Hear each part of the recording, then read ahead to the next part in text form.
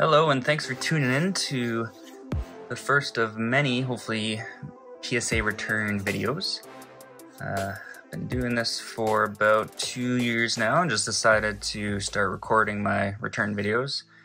Because um, I know a lot of people like to see these, and uh, I do send quite a few cards for for customers, so um, figured I would try the whole YouTube thing out and record. So we go. This this return I sent on December 21st of last year, so uh, took about six weeks um, for PSA bulk, which I think is pretty good. Uh, they've been getting a lot better with their return times. Um, this submission mostly consists of the Japanese, a Shiny Treasure EX, and I do have, I think, some older cards um, that a customer sent, and also some One Piece. So uh, I'll start going through the cards.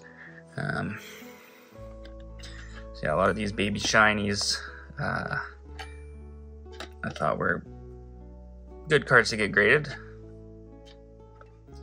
I go through the cards here. Entei, Scyther 10, Snorlax 10. Such a happy looking fella. Our order, I have a couple suppliers from Japan that I've been ordering cards for for a couple years.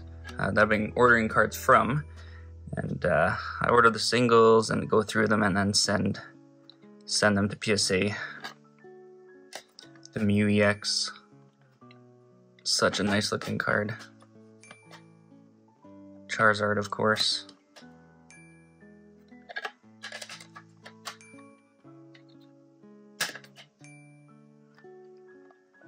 Ten, Charizard 10.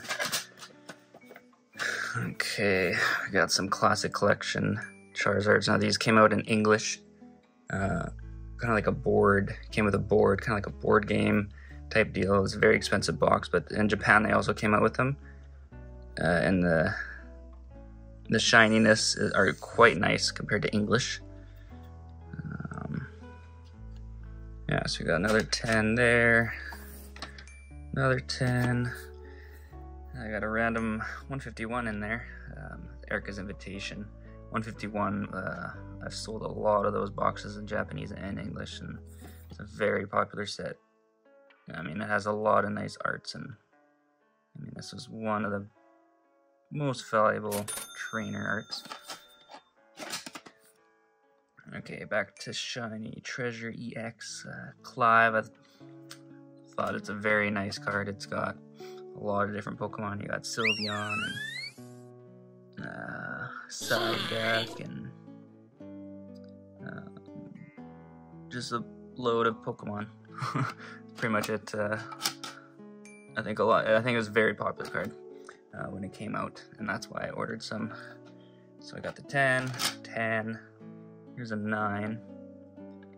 Um, yeah, it's the percentage chance of getting 10 in Japanese is quite high. The odd time I get 9s, um, it's just kind of the luck of the draw, but uh, the students, this card dropped a crazy ton. I think it's only like a $5 card now. Um, unfortunately, I think I got a lot of 9s. Uh, there's a 10. 9. 9. 9. 9. Okay, and a Mimikyu fan favorite. And they box, the box art for the English set at least. Okay, now we're on to some One Piece cards. I'm not as familiar with One Piece. This was a uh, customer that sent all these.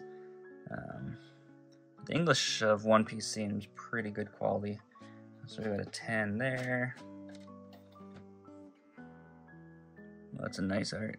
There's a 9. 10. 10 Koala. A 10 Sanji. Sorry if I butcher any of these names, I'm not familiar with One Piece. Capone Gang Beggy. 10. Monkey D. Luffy eight. What happened there? Hmm. Sometimes you just don't know why things get eights, things get nines. There's some things that I get a 10 that I'm like, oh, it should have been a nine or something. But 10, Sakazuki 10, Emporio Ivankov 10.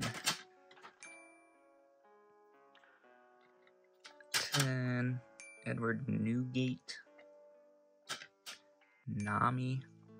That's a cool looking art. Charlotte Pudding. 10. Yamato 10. That's a cool art with the flowers in the back. Okay, here's some more classic collection Japanese.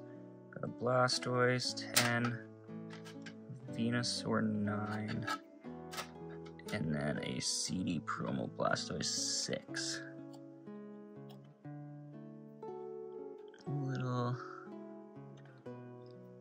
dusty. Yeah, there's definitely some whitening in the corners. Um,